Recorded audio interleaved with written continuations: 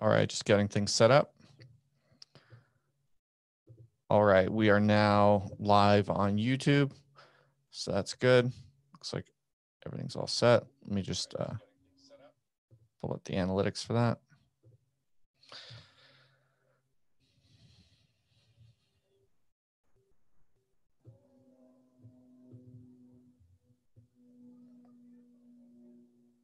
All right, we'll get started in just about probably 30 seconds or so. Hang tight.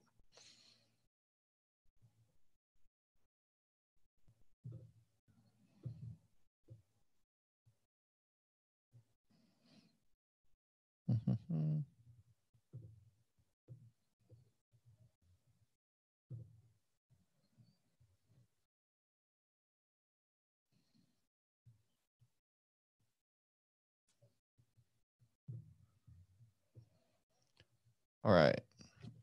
Welcome, Henry. Welcome, Evan. Welcome, Mara. We'll see who else shows up. Uh, I am actually going to try to pay attention to the YouTube chat as well as the uh, Zoom chat, but priority goes to the Zoom chat because those people signed up. So, all right. So I think we should go ahead and get started right on time. Welcome, first of all. Thanks for coming out today. Welcome to, uh, welcome back, I should say, for those of you who uh, follow what I've been doing here. Uh, this is the Other Life podcast. You can uh, go ahead and get that on your phone if you find it easier to listen later. Uh, you should be able to find the Other Life podcast wherever you get your podcasts. I'm currently in the middle of a series where I'm doing something kind of special and focused.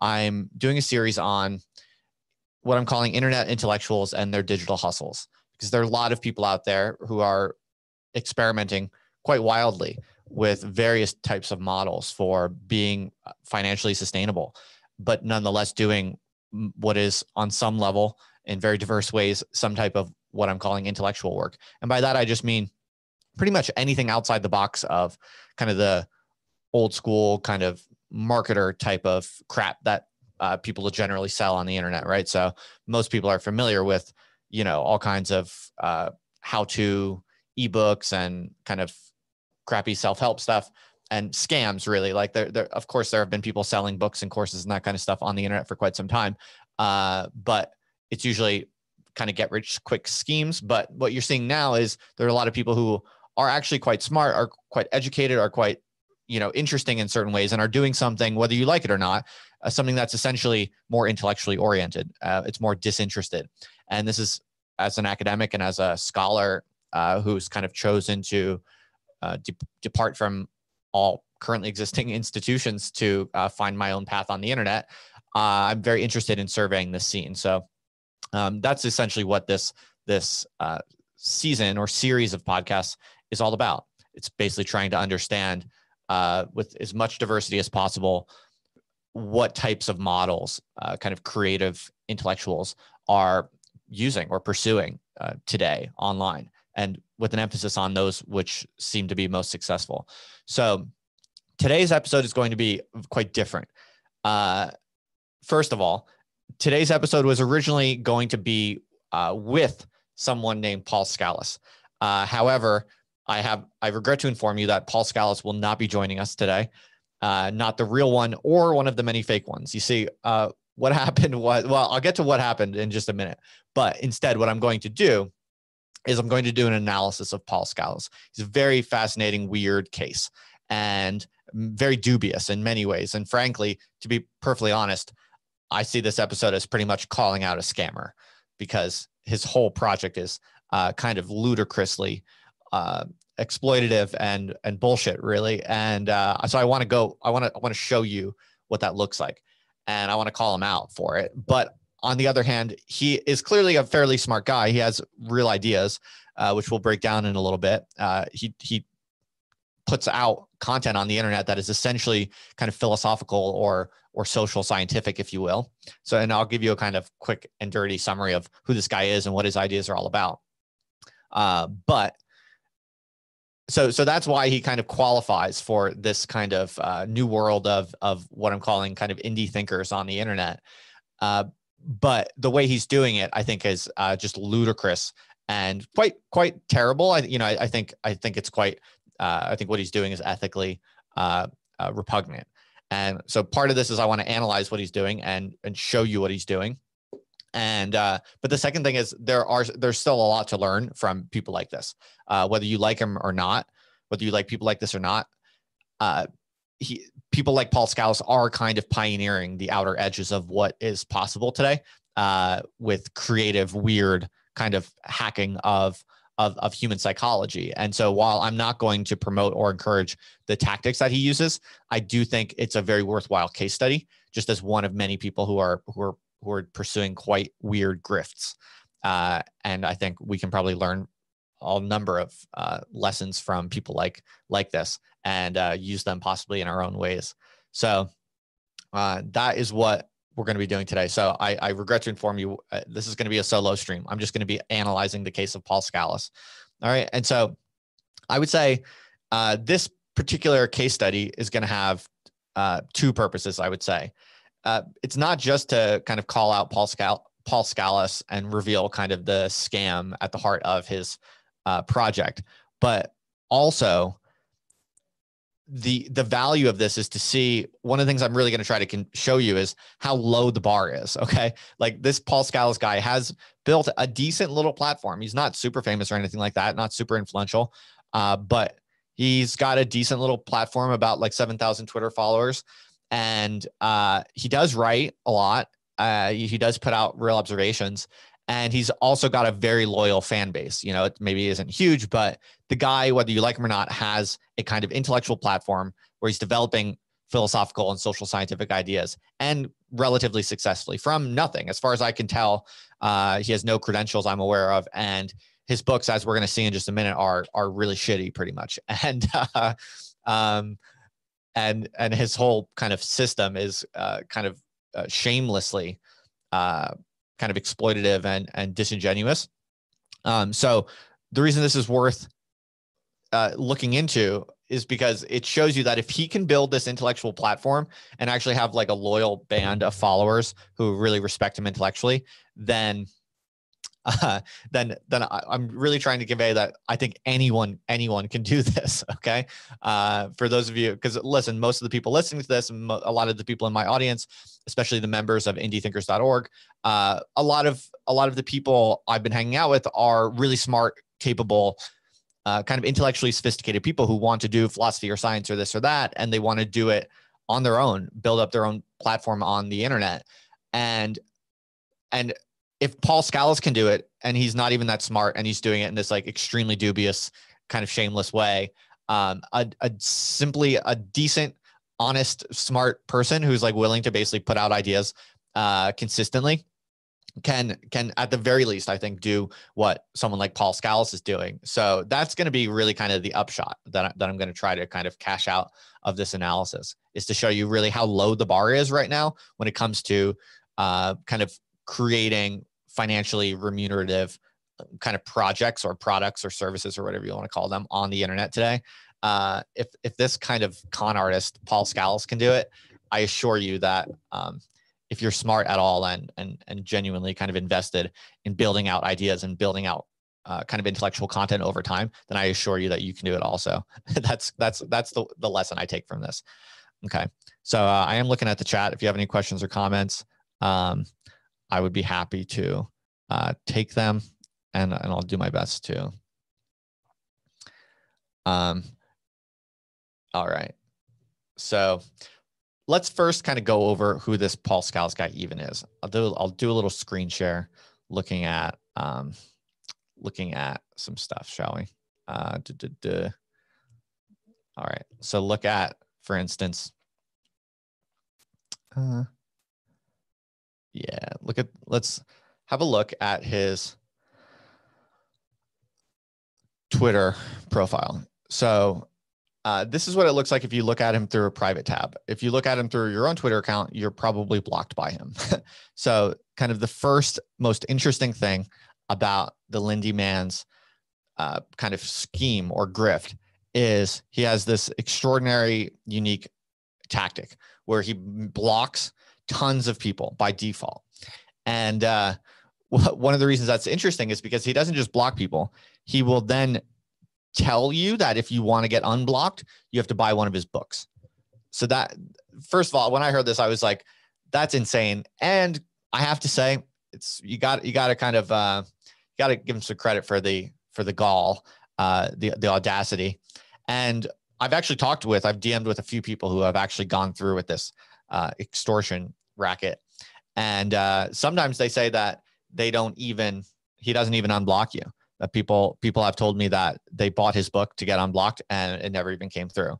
So it seems like um, this guy is really pretty much uh, a scammer in in many ways. I mean, if uh, I I don't know what else you you would call that.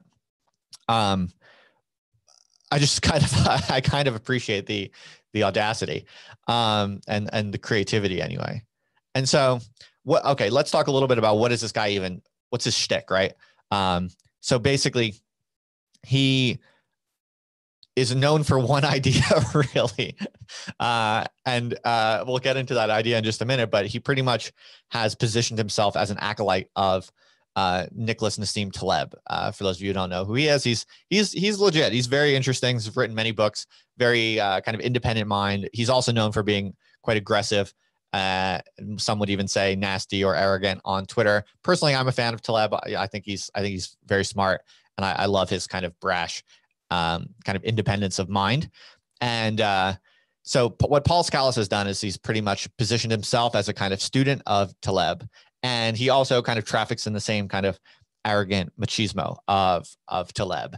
And uh, what's interesting about uh, Paul Skallas's platform or project is that he's really just has one idea and it's not an it's not an original idea. It's literally taken straight out of Nassim Taleb. Uh, it's this idea of Lindy the Lindy effect. And the Lindy effect it's super simple. It's it's really intuitive. Uh, the Lindy effect uh, is popularized by by Taleb Taleb writes about it at, at length and uh, it pretty much just means to sum it up it's like the longer something has been around the longer it will continue to be around is pretty much the, I think the the most convenient way to summarize it and uh, all right, I will. Uh, so so I'll, I'll stop sharing my screen, but I'll show you some other things in just a minute. And uh, so that basic idea, it's essentially a kind of trad idea, right? It, it clearly points to a a kind of uh, traditionalist uh, implication, right? Because it pretty much means don't waste your time with stuff that's recent and fleeting and ephemeral. Uh, if it's new, if it just came around, it probably isn't going to be around for much longer. But you know, the classics of civilization, whatever's been around for a really long time, is is kind of intrinsically trustworthy, uh, in some in some technical evolutionary way. And so it's a good it's a good heuristic. It's a good principle. Um, and and pretty much this guy Paul Skallas has has built an entire intellectual persona and a loyal band of followers and, and people who respect him and now he's and, he, and he's written and self-published many books pretty much all just spinning off this one idea which he didn't even develop and uh, so that's kind of the first thing folks is like i mean i talk on every day with people who are who have interesting uh, creative ideas they want to write books and they want to develop different theories and stuff like that and uh, you know if you have any ideas at all you're already significantly kind of more advanced and more impressive than Paul Skallas, right? This guy just took one idea from someone else and, and developed it into tons of tweets and uh, books. Okay, so if you have actual ideas, then congratulations, you're many steps ahead. And if Paul Skallas can uh, kind of build a platform off of one idea he ripped off of, of Taleb, I think you can probably write blog posts and tweets and and eventually publish books on other ideas. But frankly, it is kind of a good insight though. What he's doing is kind of smart. Uh, one thing that the pal- that this case study is showing already is that to to develop ideas successfully and in, and with influence, they don't need to be new ideas. They don't need to be original. So so one of the lessons here is you don't need to have your own novel ideas. And in some ways, if you look at Paul Skallas, it maybe even helps to just develop some of the ideas of other people out there who already have their own following. And frankly, I mean, you see this in academic in in kind of traditional academic trajectories also. It's always been a tradition in kind of the history of scholarship that at the beginning of your career, you write books about other things, right? You don't really have the right to develop your own ideas yet. And I think you're kind of seeing that eh, with someone like Paul Skallas, right? Um, there are a lot of people who maybe ha- ha- do have their own ideas and they're very kind of, uh, you know, uh, into their own kind of some sort of original or novel concept that they want to develop and they want to tweet about it and they want to write a book about it, whatever. Um, and there's nothing wrong with that. That's awesome. Obviously, it's good to be creative. It's good to have original ideas. But if no one knows who you are and you don't have a platform already, then it's really hard to develop a truly novel idea or a novel theory or concept and and get that out there because why does anyone care about you what you don't really have any there's no real proof that what you're saying is real or valuable right and so one way to solve that problem is to uh, start by contributing or developing additional lines of thought on some idea or figure who's already out there and is established. And so by participating in that already known and respected figure or concept, then you're essentially allowing the the, the interest and kind of the the informal respectability of that idea to rub off on you and how people perceive you. It's, you see this in academia, right? You even see this with Deleuze, for instance. Gilles Deleuze, the, the famous French philosopher who I recently wrote a book about, he, he he says this in his in in some of his interviews. He says, "My first few books were just studies of other philosophers. For instance, he wrote a long book on Spinoza. He wrote a long book on Nietzsche, and and, and so on, and, and, and a long book on David Hume. I believe those were his first books. And these were before he had his own philosophical voice. He didn't quite have the right yet to his own philosophical voice. So he does these long studies on great figures and kind of submerges his own unique ideas into these larger figures and, and, and these already known and respected ideas. But when you do that a couple times, when you prove your your skills, when you prove what you're worth by developing ideas around something that already exists that people already respect, then you're able to to put your own more original work forward. And i think that's actually a really legit principle that has obtained in kind of the history of normal traditional academic trajectories. Uh, but i think it's also persisting into into the internet world of, of the new kind of indie thinker model that i've been i've been developing. And uh, yeah so i think the Paul Skallas case is a really profound example of how well this works to kind of hitch your wagon, at least in the early days, to some figure or idea that's already well known and that there's already a lot of interest in. In Paul Skallas's case, that's Nassim Taleb, and in particular, the concept of Lindy. This guy made an entire identity and persona and intellectual platform off of one idea he stole from someone else. Okay. Uh, another principle I think we're already seeing in, in this Paul Skallas case study is that uh, consistency and quantity are are so powerful. And there's this kind of problem a lot of people have where you feel like you're repeating yourself right? Like you feel like oh i shouldn't tweet about this one idea multiple times every day. Because you just feel like uh, you're annoying people or you're afraid that you're going to be repetitive or whatever. But it's not true. It's it's really not true. And that the more and the more consistent you can go on like one particular idea or set of ideas and the more quantity you can put out on that really one kind of repetitive thing, uh, the better. And this is for many reasons. One, you never actually repeat yourself unless you're copying and pasting, which you should never, you know, never actually copy and paste your own shit and post it over and over again. That would be terrible. Um, but if you are saying the same thing over and over again, like you're saying, oh, the Lindy effect is really good. The Lindy effect is really important. Here's why. Here's why. If you're if you're constantly developing one idea over and over again, you're not actually ever technically repeating yourself because it's always going to be slightly different each time, right? And you're going to learn more about it by repeating yourself in that way. So every time you actually develop your understanding a little bit better, and even without trying, you say new things that are slightly better than the last. And that's one part of it is you technically never really repeat yourself. Uh, even if you kind of set out to constantly say the same thing, you're going to say it different and better each time. But the other thing is on the internet, it and this does not square well with our intuitions at all uh, because our intuitions, our evolved mental hardware comes about from a lot from millions of years of of face-to-face human interaction in, in tribes and shit like that right?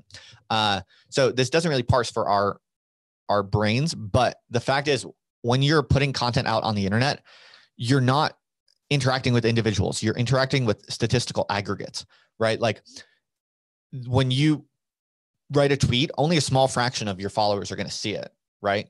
So what that means is you can repeat yourself somewhat over the course of several weeks.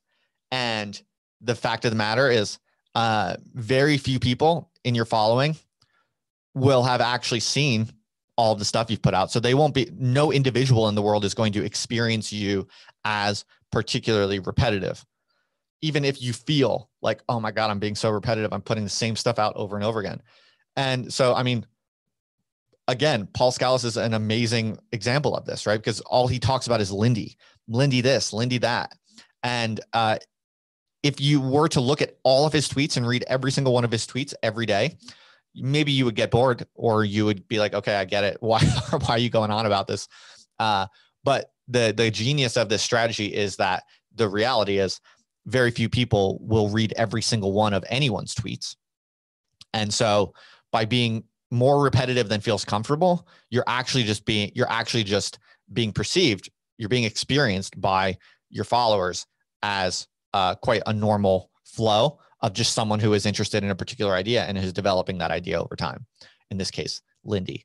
All right. So this is what I like about the case. This is what I, I'm interested in about Paul Skallas and why I think he makes a good case study is like because he's so extreme in certain ways that seem kind of idiotic or or laughable or shame or even shameful. Uh, the fact that he's he's doing quite well, you know, in the modest way of of that you know the, that in that indie thinkers can can hope for. Like the whole indie thinker model as i've been developing it it's not about getting super famous. It's not about getting super rich. Not at all. Um, i think all intellectuals in all periods of all times and all times and places uh, have always needed to be relatively content with uh, relative obscurity and, and relatively modest uh, wealth or riches.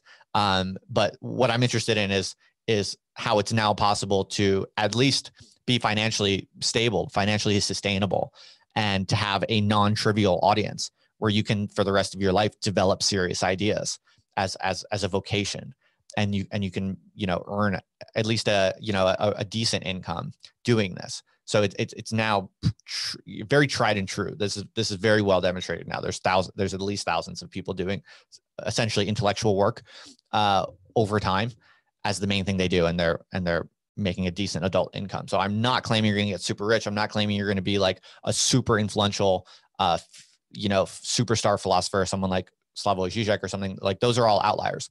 Um, so when I say Paul Skallas is relatively successful, what I'm saying is, you know, having 7,000 Twitter followers, uh, where you're doing pretty much intellectual concept development over long periods of time as your main vocation, and you're publishing your own books, and people are reading them, and you have fans and people are really interested and, and following along and uh, trying to learn from you and developing from you and you're making some amount of money doing it. Like that many you know i would consider that if you compare that to the history of intellectuals over time uh, that is a, a relatively very successful. It's been very hard throughout history for human beings to be able to do intellectual work as the main thing they do in life and to even just scrape by financially or to even just have a, a minimal audience to have anyone at all who cares okay so I'm just that's just a bit of a, an aside on on what I'm saying here.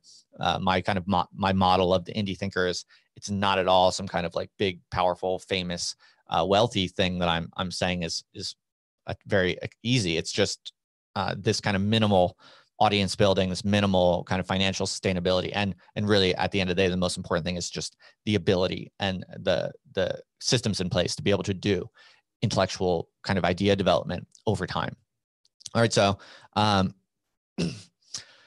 so Paul Skallas clearly clearly uh, kind of meets that meets those criteria, and I think it's just amazing to look at his system because it's so it's so laughably kind of lame and bad and crappy, and uh, so that's why I think it's really instructive because if he's if if he's pretty much achieved this level of audience and fan loyalty and uh, kind of productive capacity over time on such weak fundamentals, then I think if you're actually a smart person, if you actually have real ideas and you're not going to try to rip people off, then uh, you should be quite inspired by this because the bar is so low. All right.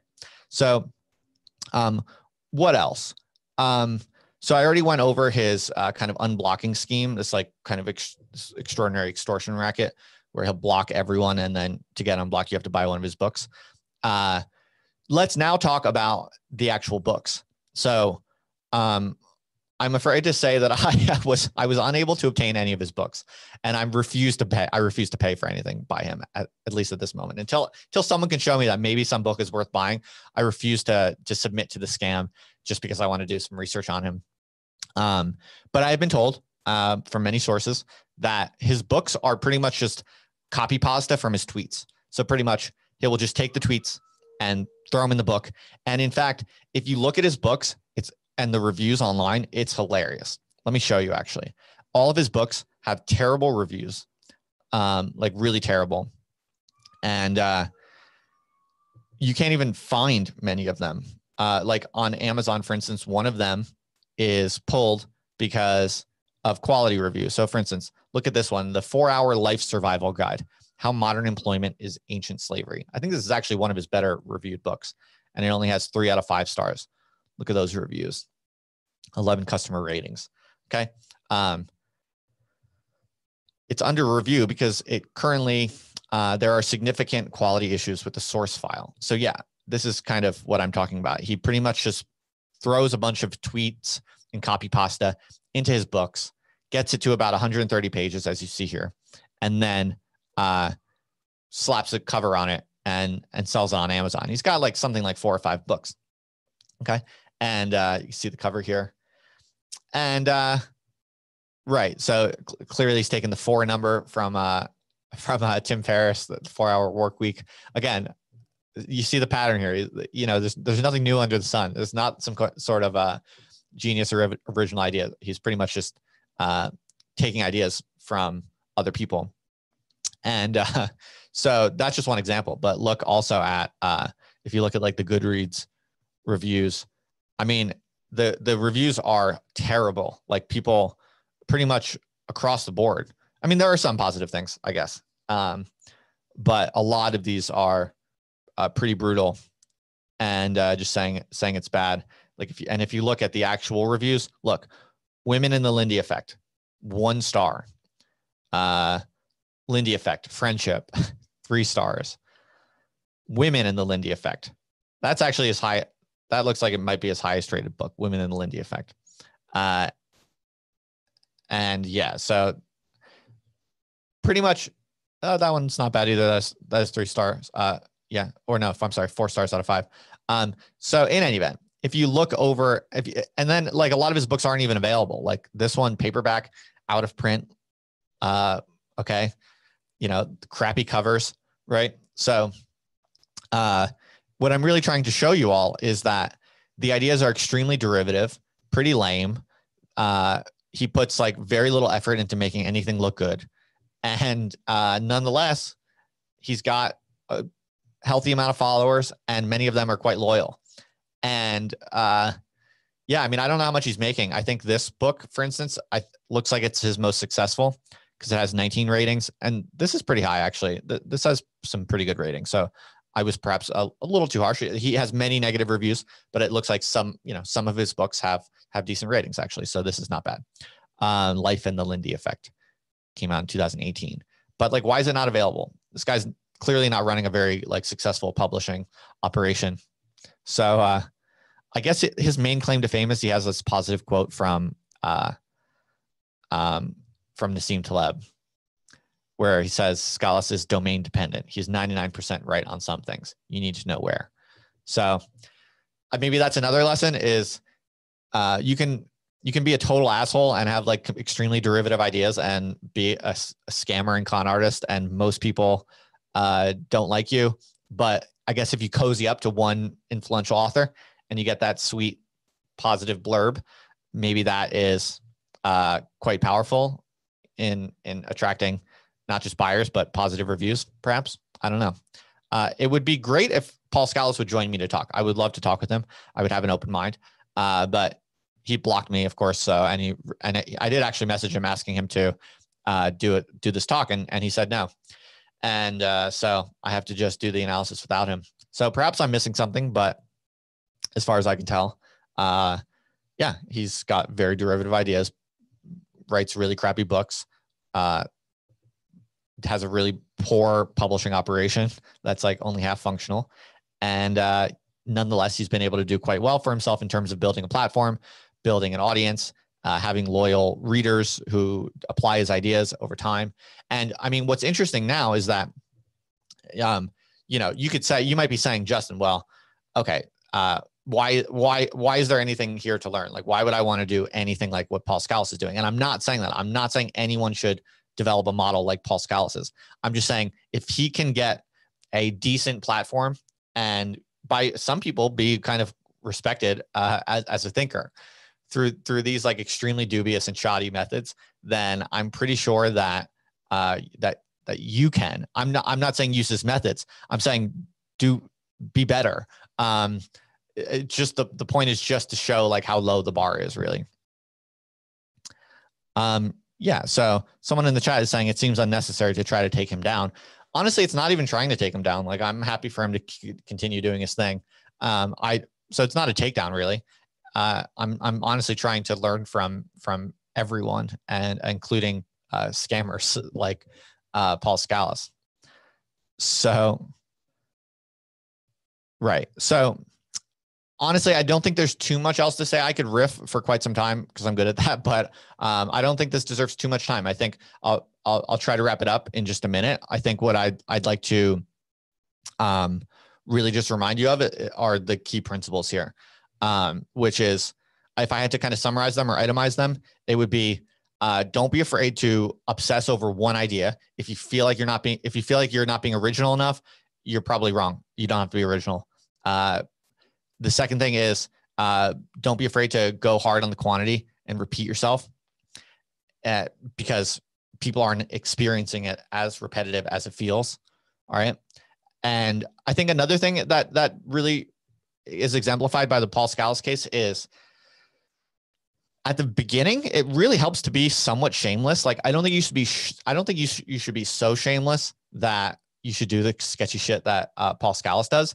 Um, but what's interesting to me is that like if Paul Skallas decided today that he wanted to actually um, put away his dubious behaviors and actually develop a significant kind of honest intellectual platform, like and and kind of do a do a kind of publishing operation that was more organized and honest and and effective and functional, he absolutely could. Like he could easily pivot. Because here's the thing, like in the early days, if you if you build some notoriety or you build a following by doing so much sketchy shit, I'm not I'm still not saying do it. I'm, I'm not telling you to do it. I'm just saying um, it benefits you to be shameless in the early days, not care too much about what people think. Because frankly, once you get to like 7,000 followers, like Paul Skallas, if he just basically stopped doing all the sketchy shit and uh, cleaned up his act and became like an honest thinker and writer and, and publisher, uh, he could he you know he could atone for his sins and have a much more interesting, respectable. Uh, I don't mean respectable in an institutional way.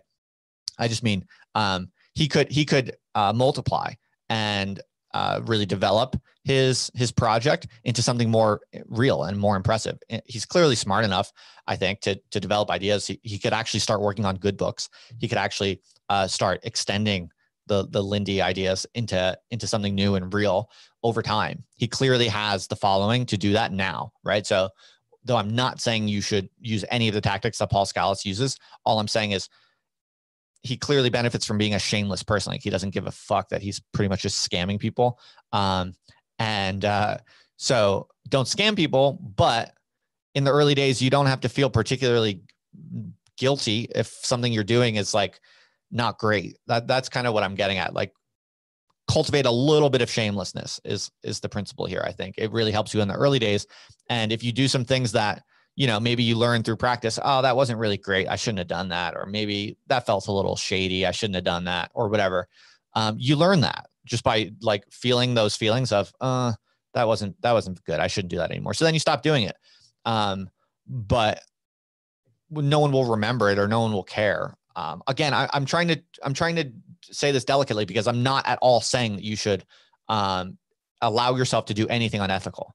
Not at all. But what I am saying is that a lot of people fear they're going to do anything at all sketchy, or like if they offer a product and maybe it's not as good as they hoped. You know, if, let's say let's say you offer an ebook, right, and people buy it for five bucks, or people buy it for ten bucks, let's say, and then you feel like you write the book, but then you feel like it's not that good. So you actually feel guilty maybe that you took $10 from people. You feel like the book is not worth $10.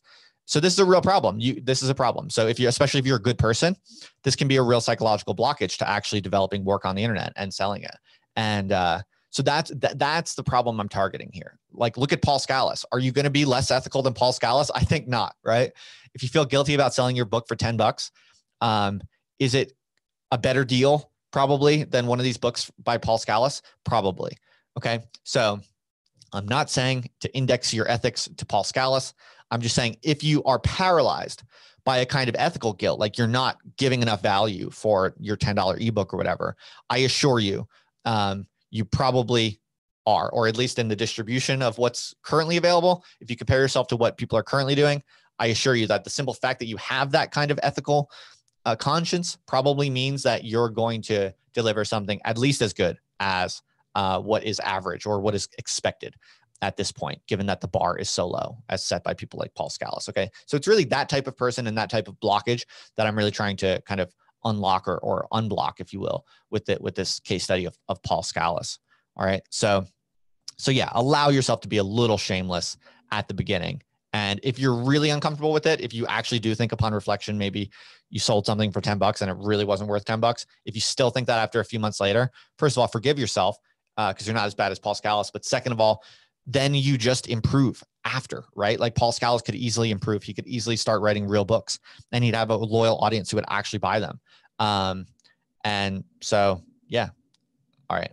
So I think enough on that. And uh, yeah, it, this kind of dovetail. The final point I would emphasize it kind of dovetails with the, the first one, which is that, or I'm sorry, the, the, the most recent one.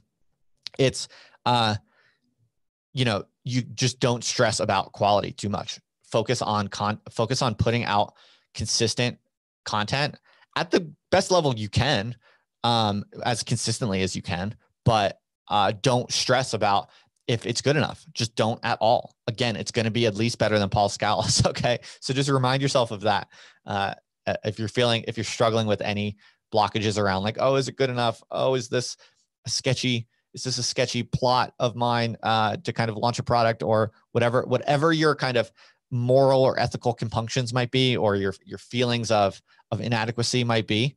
Um, you feel like you're being too repetitive. You feel like you're being uh, to derivative, all of these things that you can kind of tell yourself to prevent you from actually doing your your work and actually getting your ideas out there and, and developing your your project and platform. All of these all of these blockages. Just remember, I'm better than Paul Skallas, and I, I, honestly think that's that's that's useful. Um, so, yeah, I think that's all for me for now. This is a short one. I'm sorry that Paul Skallas was unable to join us. He refused. Uh, if he, if Paul Skallas ever wants to come back on and discuss any of this, I will have a very open mind. If I'm wrong about any of my diagnosis, I'm happy to update it.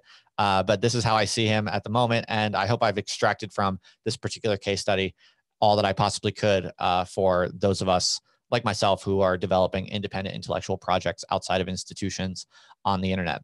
So uh, yeah, you can listen to this on your phone on the Other Life podcast. Search for Other Life wherever you get your podcasts. If you're listening on YouTube, please do go ahead and subscribe.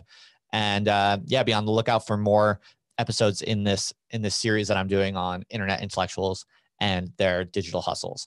Uh, I've done a couple already, and I think it seems to be really good. I think I think we're all learning a lot, and uh, people. I'm getting a lot of positive feedback that uh, we really are doing real research, really on on what are the currently uh, kind of most interesting and effective models really for for uh, developing an intellectual platform and doing it in a way that's uh, financially remunerative through various forms of of creative kind of digital hustling.